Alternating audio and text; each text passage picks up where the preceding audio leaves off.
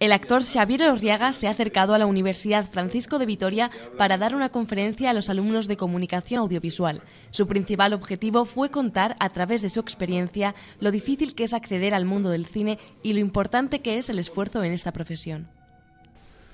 Yo creo que el cine español, en porcentaje, no es peor, o sea, no da películas en, en un porcentaje de malas, menor que el que da, o mayor, perdón, que el que da el cine norteamericano. O sea, vosotros, el día de mañana, queréis hacer una película, escribís un guion a duras penas, conseguís un dinero a duras penas y os empeñáis, os dan una subvención, suponiendo que existan, y la realizáis.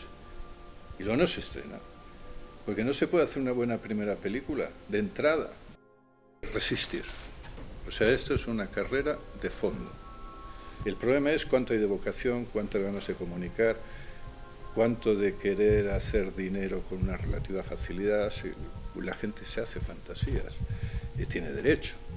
Y luego hay que ver cuánto de cuánto de ganas de incorporar un personaje, ¿no? de comunicar, y cuán duros es. Si los personajes no emocionan, no te dicen algo, olvídate, se quedará en tu buena práctica de cámara, fuera.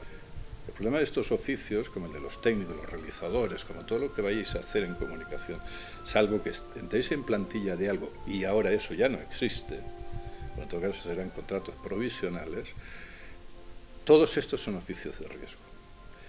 Ahora, ¿qué oficio va quedando que no sea de riesgo?